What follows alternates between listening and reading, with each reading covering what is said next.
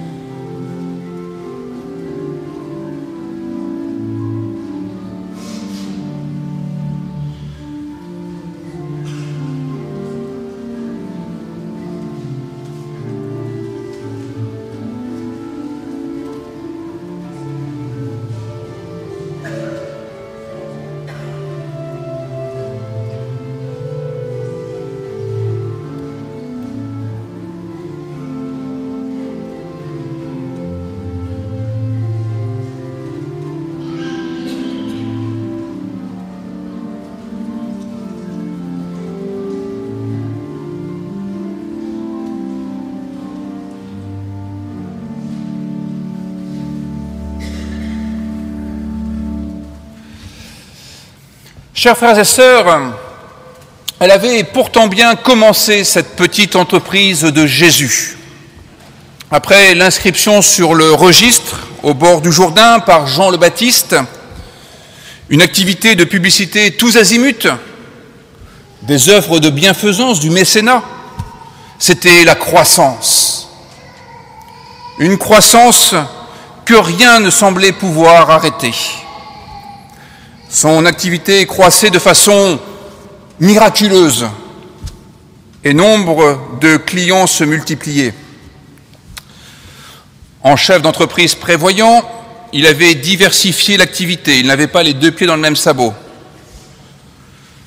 Aussi bien le médical que la politique, la philosophie, la justice, l'alimentaire, l'agroalimentaire, le bâtiment – la concurrence avait fort à faire avec lui, car il ne laissait rien passer, pas même un iota. Les trois ou quatre autres sociétés présentes sur le marché commençaient à s'inquiéter. Le Jésus en question leur prenait des parts de marché. Depuis que ses parents l'avaient présenté à la bourse de Sion, sa valeur n'avait cessé de progresser dans le tout Israël. Oui, cette start-up commençait à faire de l'ombre. Cela ne pouvait plus durer. Une OPA non amicale devait être lancée. Elle aurait lieu un vendredi, juste avant la fermeture du marché. Et cela allait conduire à un vendredi noir, à un véritable crash. Les actionnaires allaient lâcher l'affaire. Judas tout d'abord, qui allait vendre ses actions pour une somme modique. Et puis Pierre, l'héritier, qui allait se récuser par trois fois. Et cette opération allait conduire inexorablement au dépôt de bilan. Dépôt qui allait se faire dans une roche creusée, clos par une pierre. Ainsi donc, les tenants de la vieille économie du salut avaient réussi leur coup. Le temple des Sadducéens était sauf. La loi des pharisiens était sauve. L'un des zélotes, Barabbas, était sauf. La pureté des Esséniens était sauve. La paix des Romains était sauve. La nouvelle économie du salut est morte, vive l'ancienne, commençait-il à crier. C'est dans ce contexte que des femmes prennent peut-être la rue du mur du temple, la célèbre Wall Street, et se rendent à la sépulture toute fraîche. La suite, vous la connaissez, nous venons de la relire dans l'Évangile selon Marc. Elles rencontrent un consultant qui leur dit Mais Jésus de Nazareth vous précède en Galilée. C'est là que vous le verrez comme il vous l'a dit. Ainsi donc, ne soyez pas épouvantés, ne soyez ni déçus, ni désespérés. Rendez-vous en Galilée, là où Jésus a accompli l'essentiel de son activité. Agissez comme il le faisait, et vous le verrez, dans le moindre de vos gestes, dans la moindre action que vous ferez en faveur de vos frères et de vos sœurs. Car la nouvelle économie du salut n'est pas morte en vérité, elle est redressée. À chaque fois que nous empruntons le chemin qui nous mène vers la Galilée, à chaque fois que nous nous dirigeons symboliquement vers ce lieu où Jésus a exercé le principal de son entreprise, en incarnant nous aussi l'Évangile, nous pouvons voir qu'il est encore possible d'entreprendre selon cette économie-là. Oui, Pâques, c'est un appel un appel qui nous est lancé à sortir de ces tombes, de tous ces comportements mortels et mortifères qui consistent à reproduire ce qu'il y a de plus ignoble chez les autres, ou encore qui consistent à reporter sur les autres la cause de notre malheur. Ce que les femmes entendent dans ce tombeau, c'est qu'il s'agit de sortir de cette attitude qui consiste à entretenir le malheur, à entretenir la mort, à embaumer la mort. C'est un appel à sortir des comportements mimétiques, des cercles vicieux de la violence collective qui a rythmé la passion et qui, de nos jours encore, ne manque pas d'allure, des comportements de violence collective qui répondent de nos jours encore à des mots plus conceptuels, anglicisés pour euh, les rendre peut-être plus comestibles, comme le bashing, l'art de la flagellation. L'appel qui est lancé aux femmes, c'est un appel à la responsabilité, à se rendre soi-même en Galilée. Ces femmes sont désormais aux avant-postes. Nous sommes aux avant-postes. Nous ne pouvons plus nous reposer tranquillement sur le Maître parfait qui agirait à notre place. C'est un appel à prendre nos responsabilités et à nous rendre nous-mêmes en Galilée, c'est-à-dire là où on prêche l'Évangile, là où l'on guérit, là où l'on manifeste l'amour de Dieu par des signes tangibles, là où la vie prend des tonalités de béatitude. Car la nouvelle économie du salut est sortie des limbes, elle est bel et bien ressuscitée. Le temple des Sadducéens a fait son temps, la loi des pharisiens a fait son temps, la révolte des zélotes a fait son temps, la pureté des Esséniens a fait son temps, la paix romaine a fait son temps, et toutes ces composantes de la vieille économie, marquée par le cynisme de ceux qui opèrent par petits arrangements entre frères ennemis sur le dos de l'innocent, eh bien toutes ces composantes sont en fait les véritables victimes de la croix. La croix qui révèle que tous ces agissements sont incapables incapable d'empêcher la violence, incapable de produire des œuvres de justice, incapable d'inscrire le bien dans la durée. Et le temps s'ouvre comme ce tombeau. Le temps s'ouvre pour cette nouvelle économie qui pose que ce qui est capital, c'est cette possibilité qu'il y ait des interactions charitables entre les êtres humains. Oui, il est encore possible d'aimer et d'être aimé. Il est encore possible que les sociétaires du monde où nous vivons interagissent de manière positive entre eux.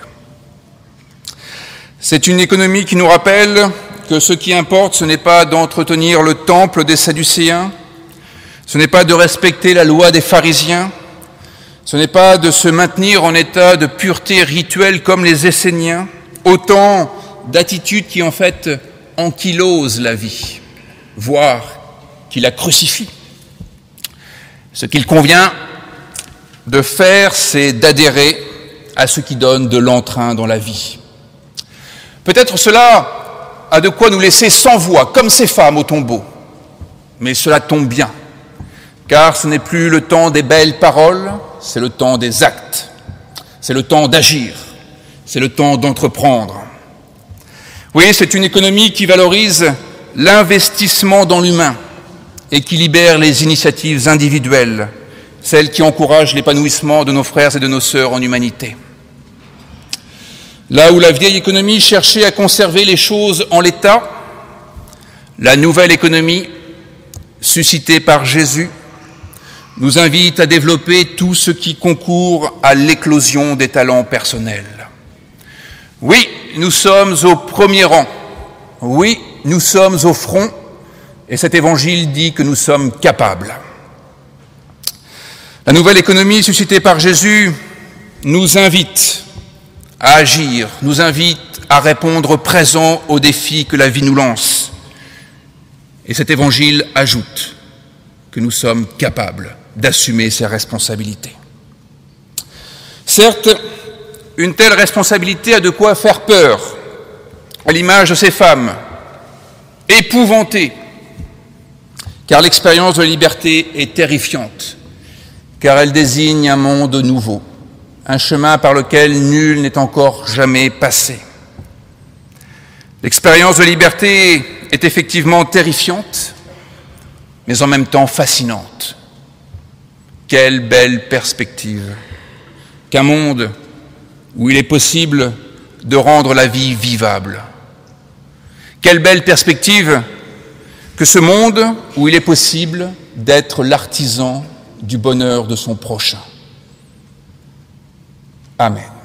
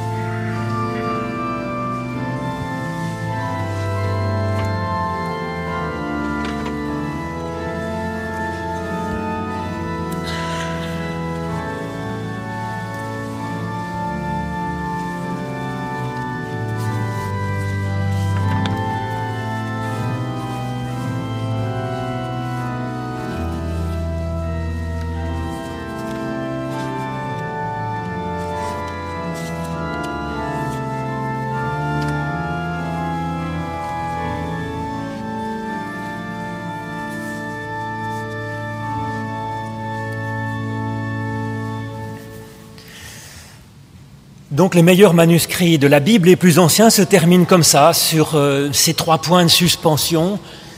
Et des commentateurs du milieu du deuxième siècle connaissent l'Évangile ainsi, dire, non achevé. Alors ça peut poser question. Peut-être c'est pour que nous écrivions la suite avec notre propre existence. En tout cas, certains ont écrit une suite finalement, puisque nous connaissons aussi d'excellents manuscrits qui ont la finale que je vais vous lire.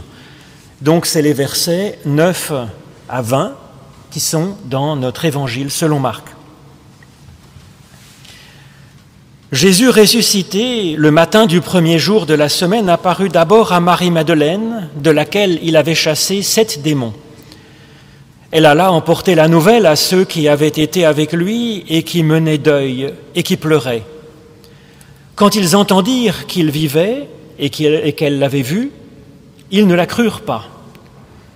Après cela, il se montra sous une autre forme à deux d'entre eux qui étaient en chemin et qui se rendaient à la campagne.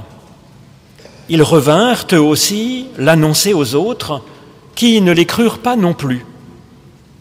Enfin, il se montra aux onze pendant qu'ils étaient à table, et il leur reprocha leur manque de foi et la dureté de leur cœur, parce qu'ils n'avaient pas eu confiance dans ceux qu'il avait vus ressusciter. Puis il leur dit, Allez dans le monde entier et prêchez la bonne nouvelle à toute la création. Celui qui aura foi et qui sera baptisé sera sauvé, mais celui qui n'aura pas foi sera condamné. Et voici les signes qui accompagneront ceux qui auront eu la foi. En mon nom, ils chasseront les démons, ils parleront de nouvelles langues, ils saisiront des serpents, et s'ils boivent quelque poison, il ne leur fera point de mal. Ils imposeront les mains aux malades, et ils seront guéris. Le Seigneur, après leur avoir parlé, fut enlevé au ciel et il s'assit à la droite de Dieu, et ils s'en allèrent prêcher partout. Et le Seigneur travaillait avec eux, et il confirmait la parole par les signes qui l'accompagnaient.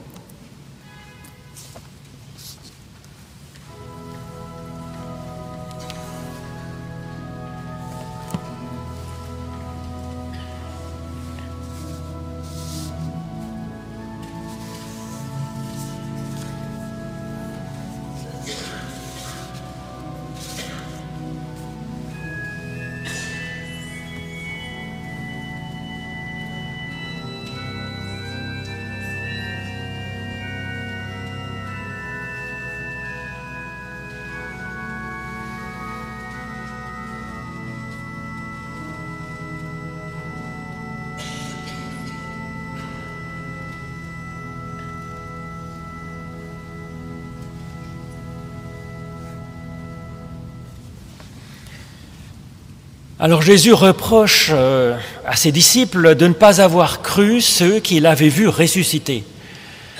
Mais à vrai dire, quelle était la crédibilité de ces témoignages de personnes qui avaient vu Jésus apparu, leur apparaître? S'il n'est pas bon d'être incrédule et de passer ainsi à côté de quelque chose de très important, d'essentiel, il n'est pas bon non plus d'être crédule et de se laisser embarquer par n'importe quel illuminé, ou pire, par n'importe quel manipulateur, déguisant son entreprise en une église vivante et sympa. Alors, est-ce qu'il y avait de bonnes raisons de croire ou de ne pas croire ces prétendus témoins du Christ ressuscité? Alors, c'est vrai que leur témoignage pourrait être euh, comparable à quelqu'un, à ceux, voilà, qui, des personnes qui ont des hallucinations. Mais si c'était le cas, si c'était une hallucination, cela ne produirait, je pense, que peu de résultats positifs dans leur existence. Elle serait source de souffrance dans leur vie et il serait source de souffrance peut-être pour leur entourage. Au contraire, on voit que ces témoins du Christ ressuscité, après un moment de stupeur, ce qui leur est arrivé les, les mobilise, les rend plus vivants et les fait s'intéresser aux autres, aller vers eux, partager voilà, quelque chose de leur expérience. Et donc ce qui leur est arrivé, que l'on ne sait pas, les a en quelque sorte ressuscités eux-mêmes. Et ils ne se scandalisent pas de voir que les autres ne les croient pas, non. Ils ont une sorte de douceur dans leur attitude et en même temps ils ont cet enthousiasme de vivre et une certaine force pour avancer. Alors peut-être ont-ils rêvé en pensant voir Jésus vivant, peut-être ont-ils présenté d'une curieuse façon ce qu'ils ont vécu spirituellement? Ce qui est certain, c'est que ça a été pour eux ressuscitant. Alors le deuxième indice positif pour la crédibilité de ces témoignages est bien relevé dans les textes. Il nous est dit que Jésus apparaît sous des formes différentes. et non pas toujours de la même façon. Et cette diversité assumée dans les évangiles, dans le Nouveau Testament, me semble intéressante. Entre les récits où Jésus apparaît sous forme d'un corps de chair et qu'il mange même des poissons, les récits où il a la forme d'un jeune homme habillé de blanc et lumineux, ce qui n'a donc rien à voir avec euh, l'existence physique de Jésus avant, entre Paul qui exprime ce Christ ressuscité comme une lumière et comme une voix, et Pierre qui dit que Christ est mort selon la chair, mais rendu vivant selon l'esprit. Cette diversité nous autorise, je pense, à avoir notre propre opinion sur le mode de résurrection du Christ et à accepter que d'autres aient d'autres façons de le concevoir. Cette diversité me semble être un signe positif quant à la sincérité de ces témoignages. Ceux qui ont eu une certaine expérience ne se sont pas sentis obligés de dire comme les autres. Et effectivement, quand on a vraiment le sentiment d'avoir vu quelque chose vraiment, on n'a pas peur de la diversité des témoignages. On dit simplement, ben moi j'ai vu ça comme ça. Si d'autres l'ont vu autrement, ben ils ont vu autrement, il n'y a pas de problème. Le troisième indice, positif, me semble être le, le mobile possible de ces témoignages. Les personnes qui disent avoir vécu cette expérience en témoignent, mais ne cherchent à en retirer aucun pouvoir. Elles ne fondent pas une nouvelle secte pour autant, ils témoignent et quand ils ne sont pas crus, bah tant pis, ils continuent leur petit chemin. Cette idée de résurrection ne vient pas non plus d'un groupe qui imaginerait cette mise en scène après la mort de leur leader ou bien qui chercherait à expliquer la surprise qu'ils ont eue en trouvant un tombeau vide. Non, au contraire, le groupe, on le voit, le groupe des disciples s'oppose à cette idée de résurrection. Et effectivement, elle est plutôt contre-productive. Ces récits de résurrection, on le voit dans les évangiles et puis dans les actes des apôtres, ne semblent convertir personne, bien au contraire, et aujourd'hui non plus, à mon avis.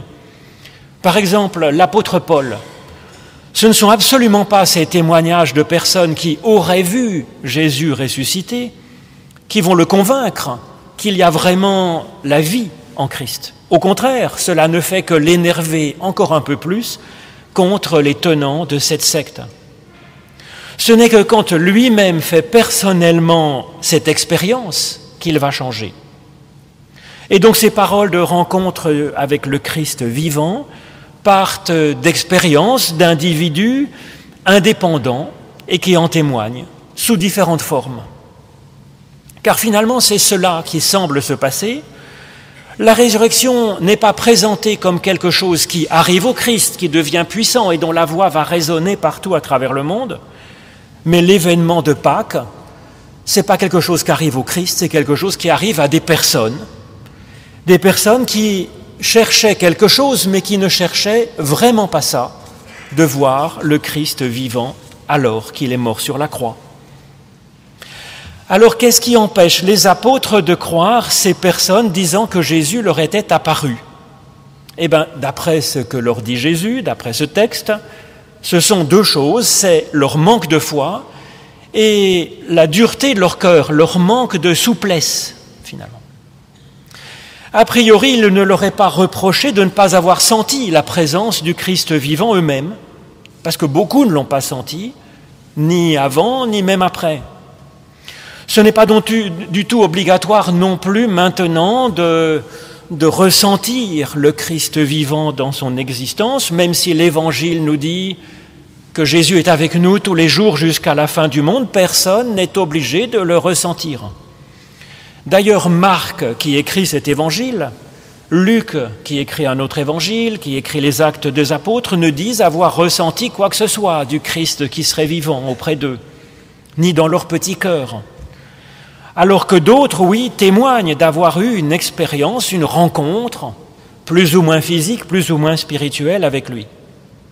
C'est donc pas grave si on n'expérimente pas ce genre de choses soi-même, mais Jésus nous dit que si on a un peu de foi, un peu de confiance dans les autres, un peu de souplesse d'esprit aussi, on devrait pouvoir croire celui qui en témoigne de façon crédible, pas forcément n'importe quel illuminé qui passe.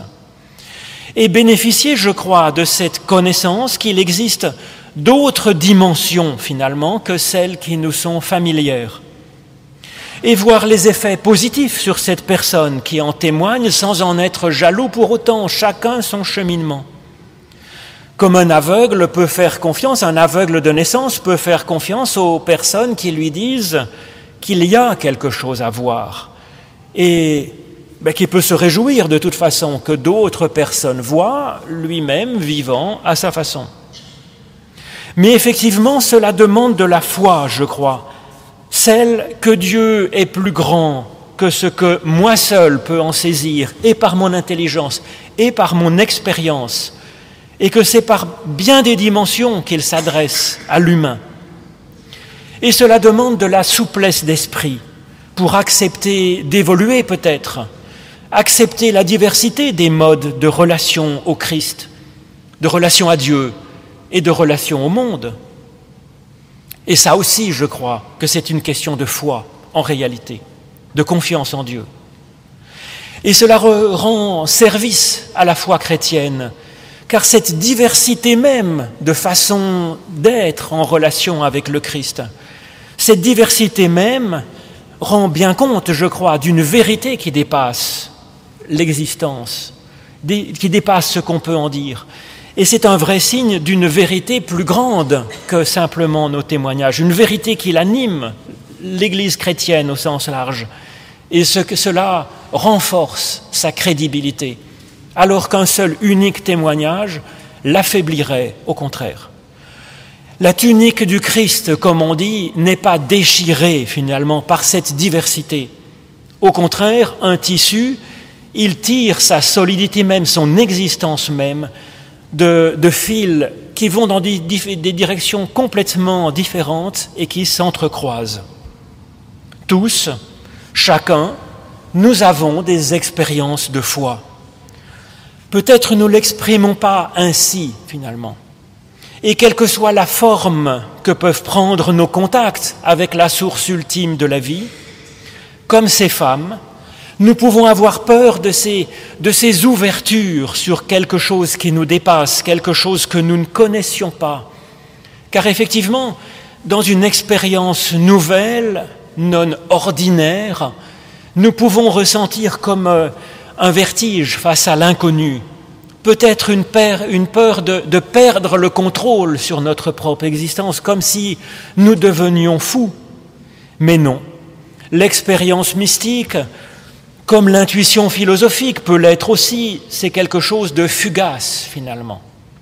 Cela passe comme le Christ ressuscité qui apparaît et puis qui après un geste, après trois mots, disparaît, nous laissant avec une expérience dont nous avons la mémoire et puis souvent quelque chose de nouveau dans nos facultés, une faculté nouvelle. Quelque chose aussi qui nous donne envie de vivre, et d'en témoigner, car toute belle chose vécue donne envie, est encore plus belle quand on la partage avec ceux qu'on aime. Mais alors comment dire notre témoignage dans ce domaine, puisque justement c'est quelque chose qui est très personnel? Comment être crédible dans ce domaine? Eh bien, peu importe, nous dit le témoignage de cette page de l'Évangile. Il suffit d'être simplement soi-même sincère et doux. L'essentiel est que cela sorte, que cela s'exprime dans un mouvement vers les autres, dans une parole, qu'on aille dans le monde finalement. Il ne s'agit donc pas de jouer un rôle mettant en scène joie et vie pour répondre peut-être à cette critique de Nietzsche, par exemple, qui nous disant que nous n'avions pas des têtes de ressuscité. Nous n'avons pas à avoir des têtes de ressuscité en faisant semblant de sourire, en prenant la Sainte Seine ou en écoutant le culte. On peut très bien avoir la tête que l'on veut avoir, et quand on est concentré, on n'a pas forcément un grand sourire benet sur le visage. Il ne s'agit donc pas de jouer un rôle, il ne s'agit pas non plus de prétendre avoir tout d'un coup une puissance surnaturelle, comme celles qui sont exprimées ici, de chasser des démons ou bien de guérir par simple geste de bénédiction les personnes qui sont malades. Ou alors s'il fallait prendre ce passage à la lettre de ceux qui ont la foi, il faudrait être capable d'assimiler la morsure de douze serpents à sonnette et d'avoir bu un litre de ciguë sans aucune peine. Et pourtant, oui, quand on nous dit que ces signes sont là quand on témoigne de sa foi, c'est vrai. Nous avons effectivement le courage de vivre notre foi, d'en témoigner simplement comme nous l'avons vécu, nous pouvons alors aller dans le monde, nous frotter à lui, même au mal qui existe dans le monde. Nos paroles, selon ses promesses, seront accompagnées de cette puissance de résurrection qu'est Dieu. Ce n'est pas nous qui l'avons, cette puissance, elle nous accompagne. Oui, Dieu sera vraiment présent avec nous et il sera laissé libre d'agir par notre sincérité et par notre simplicité. Et alors, les démons de la folie, le poison de l'indifférence, alors les serpents de la tentation, la maladie qu'est le péché tremble, bien des morts se relèvent alors, et la langue de l'amour et du cœur, de la foi, résonne. Amen.